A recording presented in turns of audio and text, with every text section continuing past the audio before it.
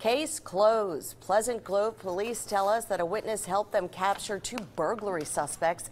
Yesterday, the witness saw two men kick in a door at a house in the 800 block of 4th Avenue. The witness called police and they arrested 34-year-old Milton Jones and Walter Williams of Birmingham. This morning, both suspects are being held in the Pleasant Grove jail.